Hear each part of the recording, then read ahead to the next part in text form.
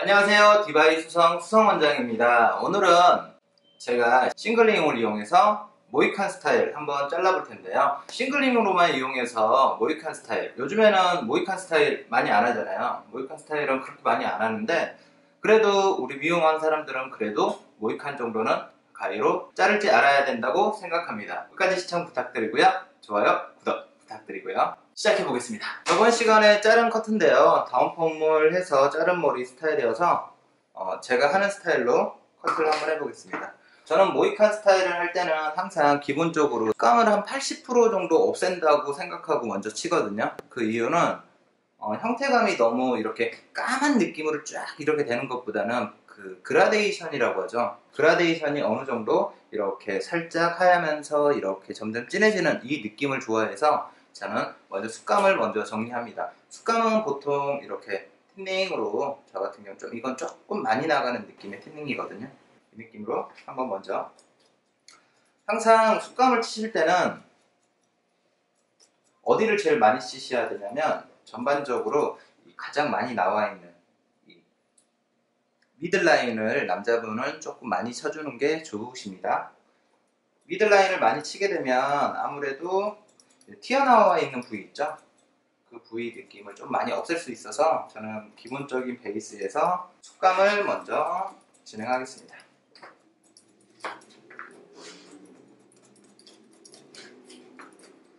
이렇게 틴닝을 막 쓰는 것 같아도 막 쓰는 건 아니에요. 이렇게 막 가위질 그냥 하는 것 같아도 나름 계산하고 치는 겁니다. 네. 어차피 짧은 머리이기 때문에 굳이 뭐 어디를 어떤 부위를 이렇게 정교하게 지금은 자를 필요가 없잖아요. 길이감을 느낌, 습감을 먼저 정리하는 느낌이기 때문에 주의하셔야 될 점이 있는데 한 지점을 틴닝을 너무 이렇게 계속 하다 보면 빵꾸 아시죠? 네, 약간 비어 보이는 느낌 네, 될 수 있습니다. 참고하시고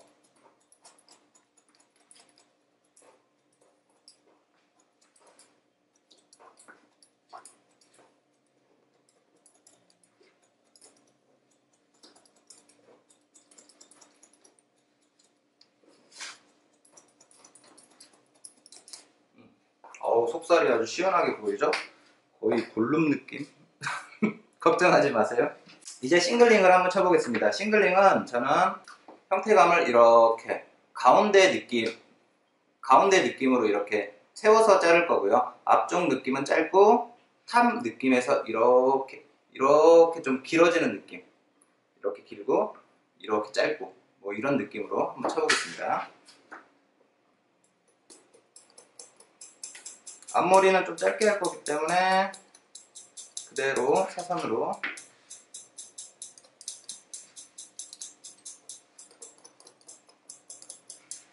기본적인 베이스 먼저 이렇게 형태감을 생각하시면서 잘라주세요. 오 벌써 느낌이 많이 틀려졌네요. 옆라인 정리하시면서 옆라인은 그래도 깨끗한 게 좋겠죠? 사이드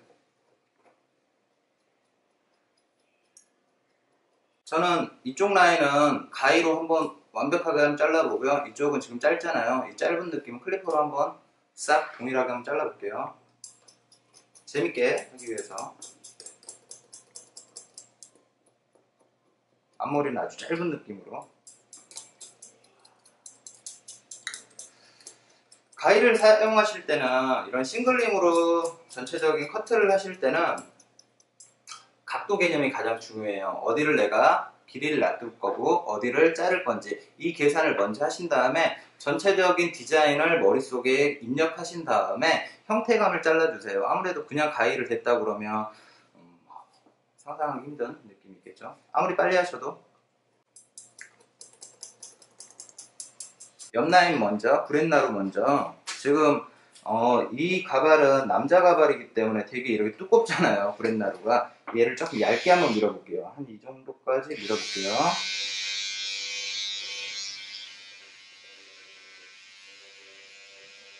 어, 모발 자국이 나네요.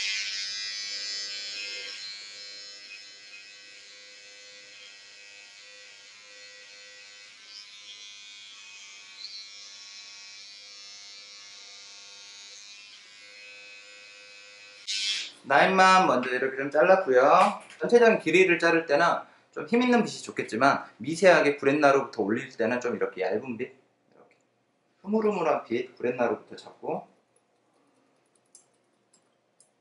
잘라주시는 게 좋습니다.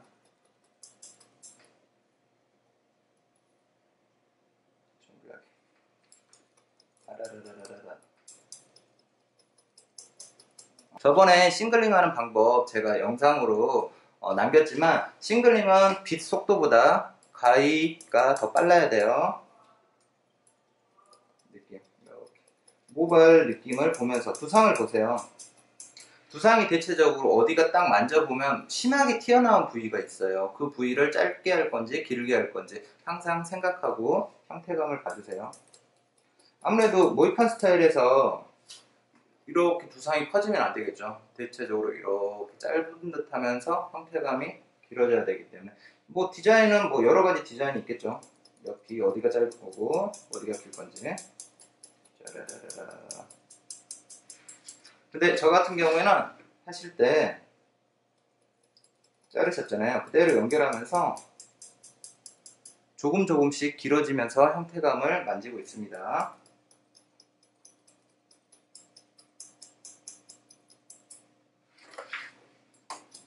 찐머리 라인도 연결.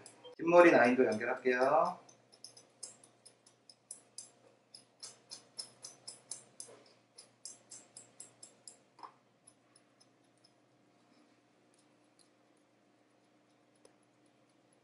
형태감이 대체적으로 약간 느낌이 나왔죠?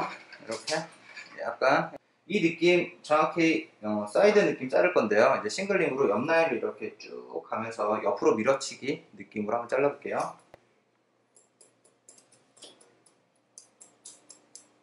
shingling 하실 때는 중요한 게 내가 어디를 정확히 자를 건지 생각하시고 자르셔야 돼요.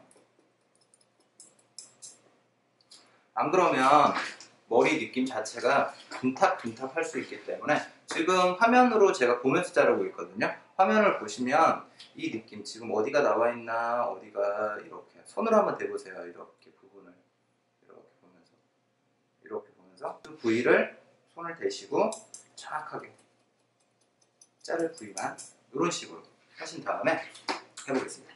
그리고 윗라인 어느 정도 잘랐다 그러면 이제 윗라인에 각도 베이스를 이 느낌과 맞춰주세요. 이렇게. 지금 이렇게 옆 라인에서 손을 한번 대보시고 아 이 정도 잘라서 올라가야 되겠다 하는 느낌으로 손을 보시고 그래서 이렇게 형태감을 잡아주세요. 윗라인이 가장 길게요. 저는 지금 기본 베이스로 가운데 느낌만 좀긴 듯하게 자를 거기 때문에 이렇게 라인감을 이런 식으로 두상의 느낌에 맞춰서 자르고 있지만 디자이너 선생님들이 커트하실 때는 그거는 자기 마음이겠죠. 어디를 길게 할 거고 어디를 포인트로 남길 건지는 앞쪽은 좀 짧게 저는 잡을게요.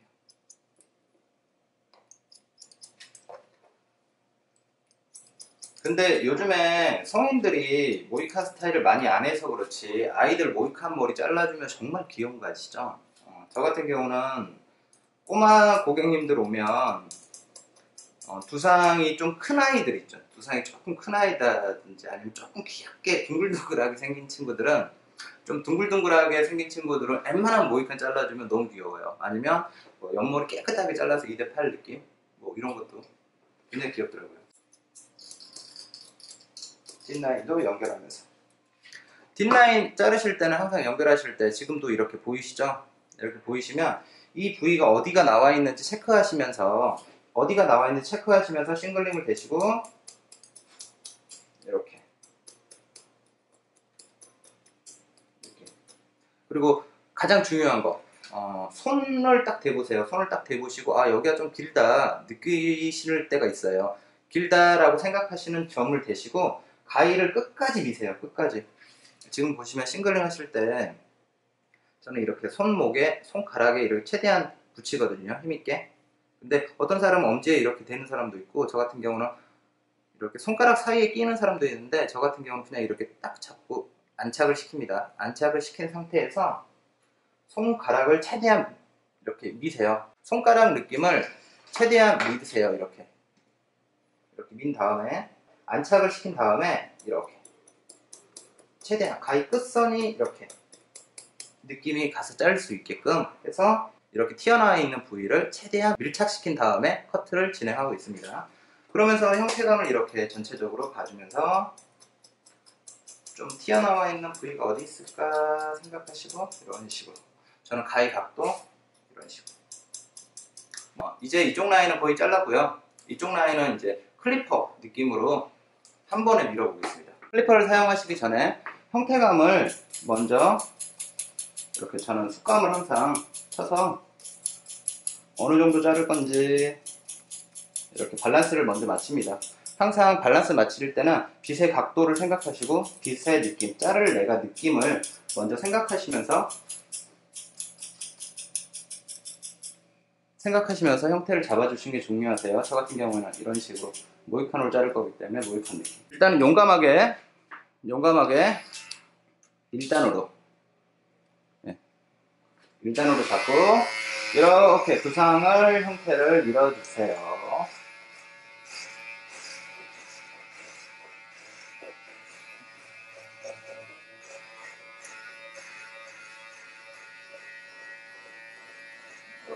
근데 중요한 점은 옆에서 보면서 자르셔야 된다는 거예요. 클리퍼를 사용하시고 자르실 때는 이렇게 살을 보이게 자를 거기 때문에 내가 어느 정도 자를 건지 생각을 하시고 클리퍼를 이렇게 대주세요. 한 방에 저 같은 경우 그래서 이렇게 쭉 이렇게 두상 라인으로만 나가시면 위쪽 라인은 자르지 않기 때문에 그냥 형태감을 이렇게 주시면서 자를 수 있습니다.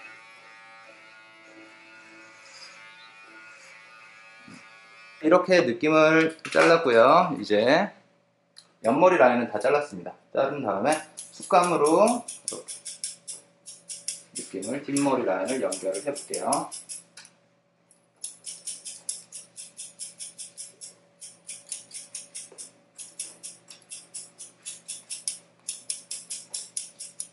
옆머리 라인 이제 밸런스를 어느 정도 맞췄다고 하면 가위 느낌으로 이 느낌 있죠? 여기 이 느낌 이 느낌을 손의 각도 옆머리 clipper 된 느낌에서 연결해서 길어지는 부위만 너무 긴 부위만 이렇게 형태감을 보면서 잘라줍니다.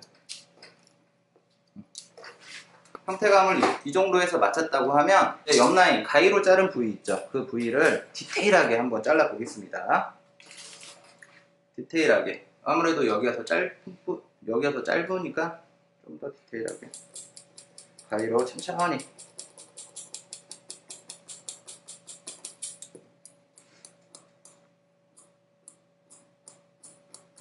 이런 식으로 무한 반복이죠.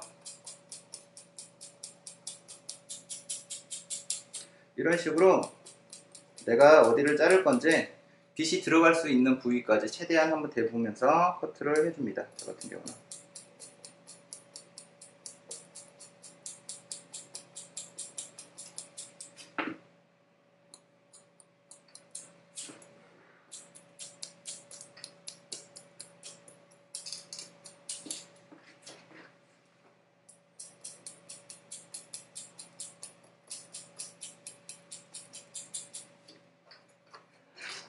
형태감을 조금씩 보면서 그러시면서 이렇게 맞춰가는 거예요. 이렇게 맞춰서 싱글링으로 어디가 튀어나왔나 느낌 보시면서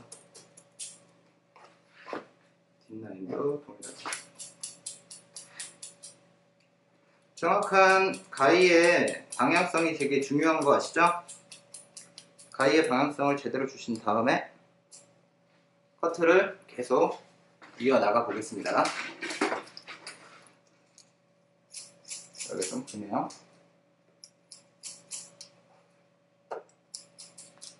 태감을 조금씩 느낌이 나오고 있죠? 조금씩 조금씩 느낌이 나오고 있습니다.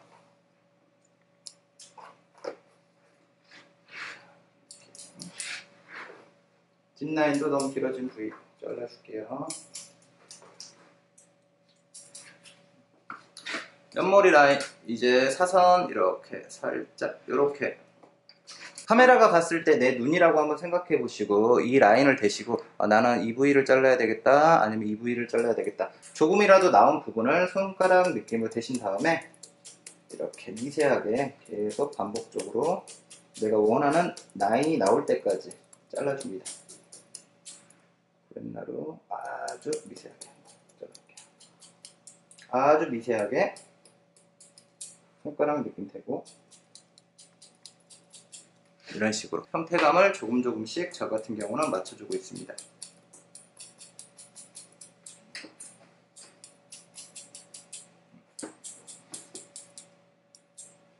앞라인만 살짝 조금 가위가 안 들어가니까 라인만 한번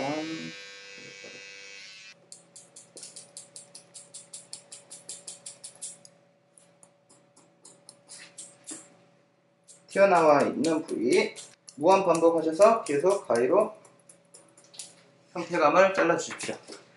이렇게 보면 어디가 나와 있는지 느끼면서 무한 반복 해주세요. 자,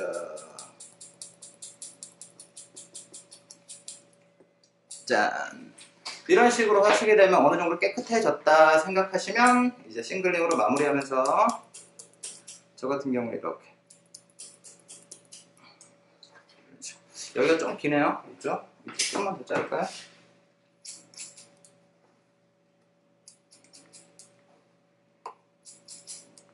이쪽도 앞쪽 라인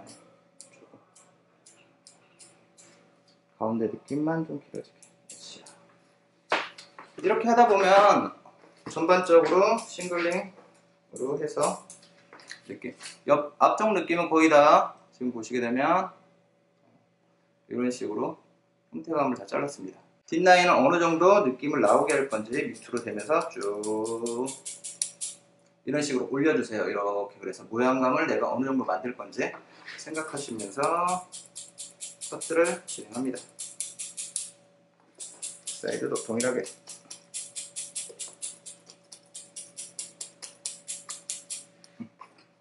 화면으로 같이 보면서 볼게요.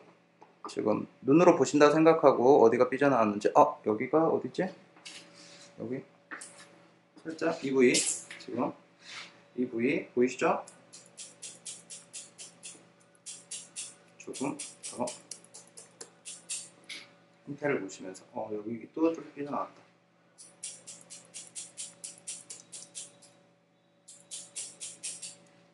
이런 식으로 형태감을 저는 이렇게 눈으로 지금 시청하고 있으신 분들의 눈이라고 생각해 보시고 이렇게 머리를 살짝살짝 돌려보세요 어디가 삐져나왔고 어디가 지금 모서리 부분 어디가 있는지 이런 식으로 체크를 하면서 저 같은 경우는 싱글링을 하고 있습니다. 모이칸 스타일에서 가장 중요한 거는 구도인 것 같아요. 구도. 어디가 제일 짧고 어디가 가장 길어지는가 이게 제일 중요하고요. 그리고 손의 각도, 어, 짧아진 부위와 연결하는 것, 뭐 이런 것도 가장 중요하겠죠. 모이칸 스타일에서는 가위로 자르느냐 싱글링으로 자르느냐 제가 봤을 때는 별반 차이는 없겠지만 가위로 자르느냐 뭐 클리퍼로 자르느냐 이건 중요하지 않은 것 같아요. 도구인 것 같고 제가 봤을 때는 가위로 잘랐을 때는 조금 조금씩 조금 조금 아주 조금 조금씩 자를 수 있고 미세하게 자를 수 있고 이런 장단점이 있는 것 같고요. 그리고 클리퍼는 좀 더 빠르고 그냥 시원시원하고 좀 더 정교하고 이런 게 있는 것 같아요. 근데 이것도 도구를 얼만큼 잘 사용하느냐에 따라서